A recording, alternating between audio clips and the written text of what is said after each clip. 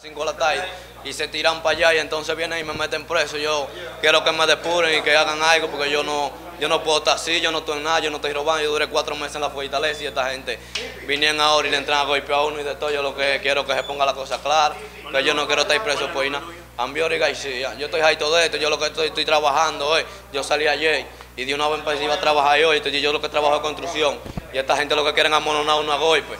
Yo no sé si ellos quieren que uno robe para ellos, porque yo no, yo no, yo no estoy en robo, no estoy en nada, yo no estoy en calle, yo lo que estoy es ahí tranquilo con mi mujer.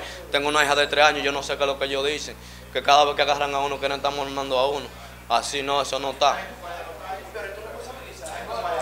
¿Cómo? No, a ellos, yo los responsabilizo a ellos y me pasa algo, cualquier vaina, porque yo no estoy en nada. Yo ando a las 24-7 en la calle, ando sin nada. Yo no soy ladrón, no, no robo ni nada. Cualquier vaina, ellos son los